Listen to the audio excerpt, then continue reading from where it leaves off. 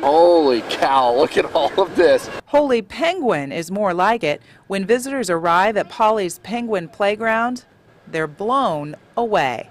It's it's madness. It's a lot of blow up penguins. You don't expect to drive by a house with like 100 million penguin decorations. I never knew you could put this many Christmas decorations on one house. It all started with five penguins, a joke on his wife, but after nine years, they've multiplied to a tight knit family of about 175.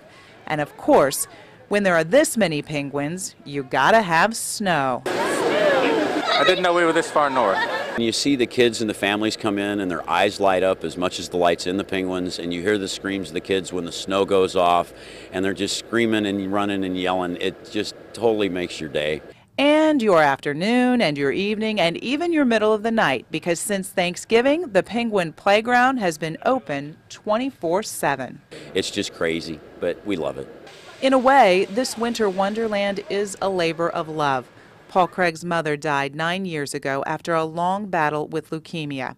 A cream can from her garden sits on the porch, and all donations go to the Leukemia Lymphoma Society. I think she would love it. I got a lot of my personality and sense of humor from my mom, and uh, she's the one that taught me it's much better to be able to laugh at yourself if you don't do it. Everyone else is anyway. So.